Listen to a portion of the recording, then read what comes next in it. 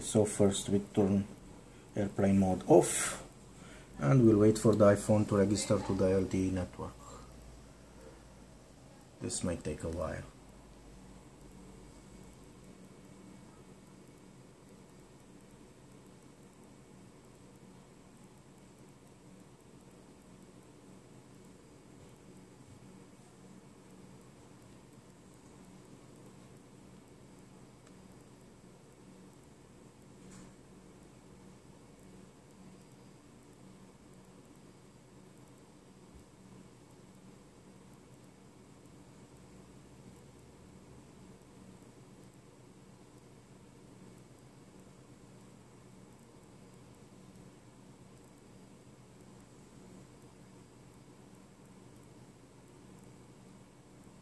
okay LTE registration succeeded.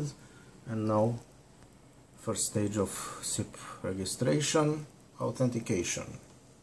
As you can see a register SIP register was received and a set of authentication vectors were received from the HLR waiting for the second part which takes at least 32 seconds because of how TCP is used for SIP by the iPhone.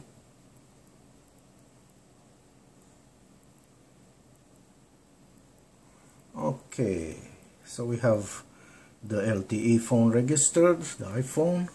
We'll turn on the 2G phone and we'll wait for it to register as well.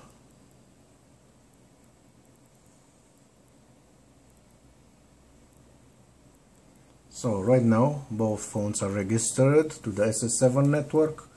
We see here that the subscriber profile profile has been returned and the registration has succeeded for the 2G phone as well. Now we are going to send an SMS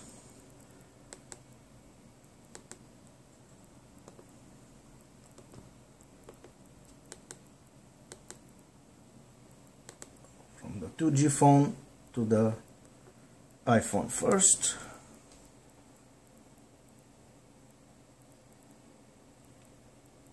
Message was received and delivered. And we reply to it